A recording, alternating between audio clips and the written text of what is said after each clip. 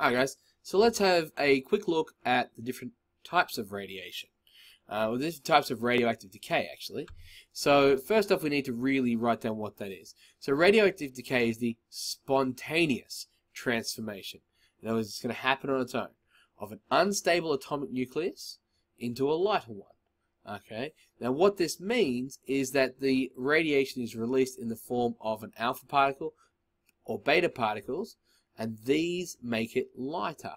Now there is also the gamma rays there, which we would write like this, um, but the gamma particles are released with either a beta particle or an alpha particle. They're not released on their own.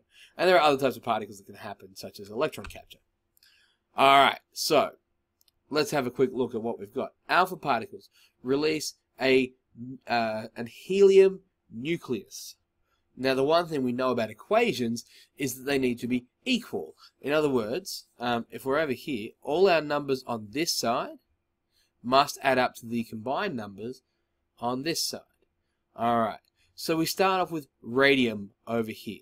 Alright, so this is our radium, and it decays into radon and helium, or an alpha particle. Um, so, over here, we see that it's helium particle, so it's, so it's identical to a helium nucleus. This has no electrons. Uh, it's identical to a helium nucleus, which means it has two protons and two neutrons. The reason that's four is because this is its atomic number, this is its atomic mass. So two, two. So two protons, two neutrons. Alright?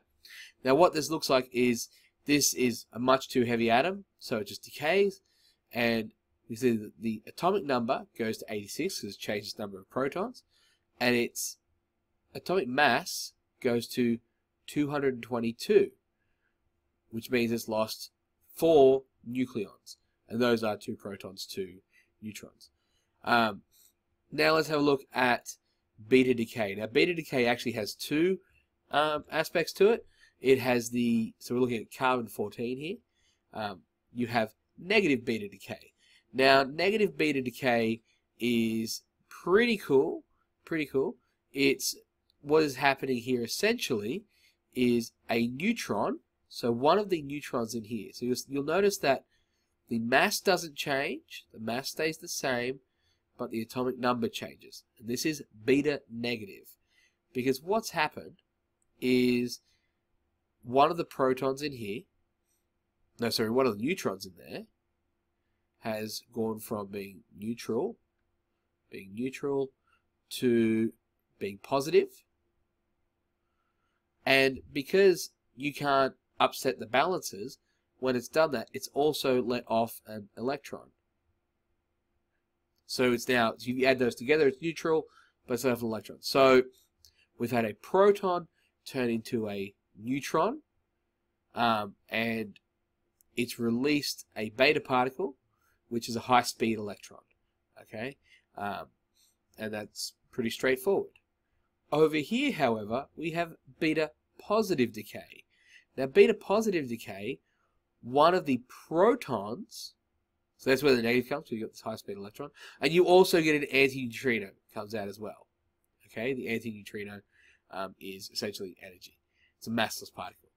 Over here, we have a, uh, radioactive nitrogen.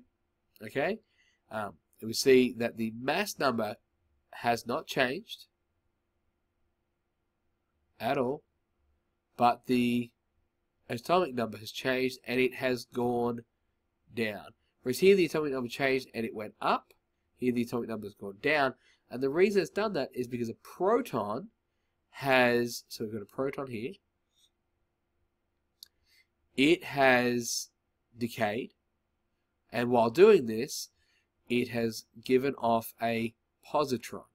So, to keep it all the same, you now have a neutron plus a positron, or a beta particle.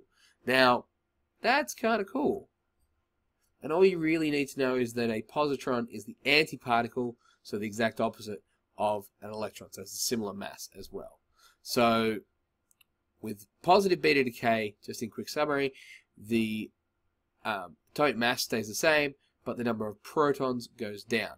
In negative beta decay, the atomic mass stays the same, but the number of protons goes up. Then we're going to skip past electron capture, and we're going to look at gamma decay.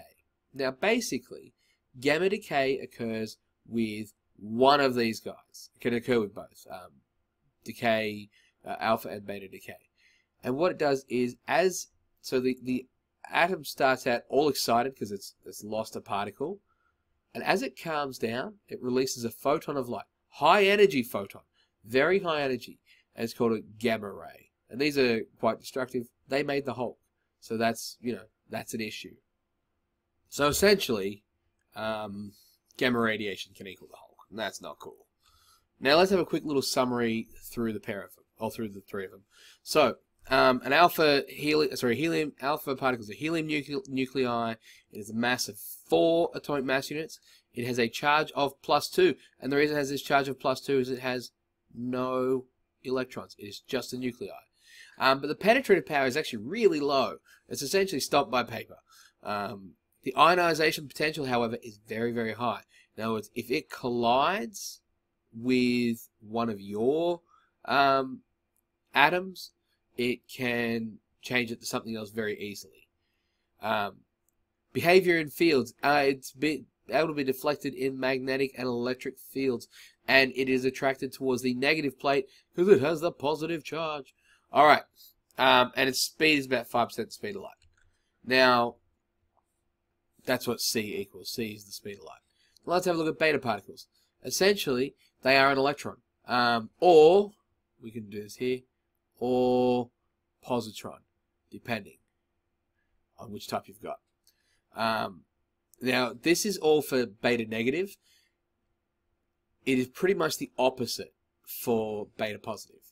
Okay, so the charge is negative. They are about a thousandth the size of a proton. Um, so about uh, yeah, thousandth of an AMU.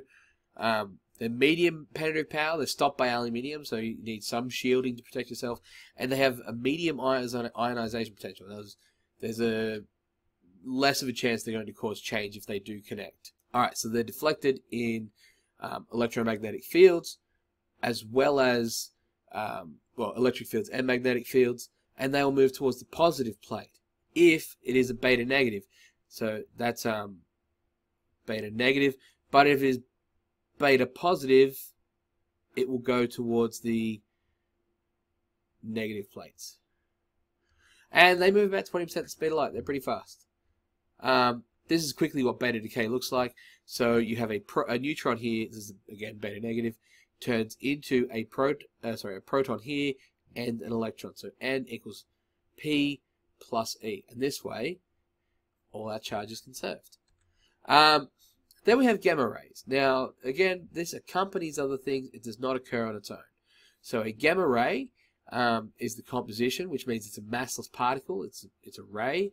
Um, so zero mass, zero charge. Uh, but it because it has zero mass and zero charge, it goes through lots of different things. Um, and you need roughly 10 centimeters of lead to kind of block it out.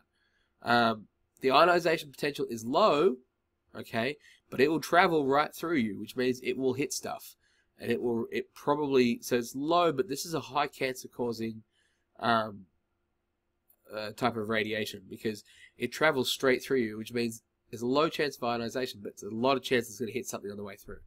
Um, behavior in fields is zero; it does not react to electromagnetic fields at all, and its speed is the speed of light. All right, thanks for hanging in there.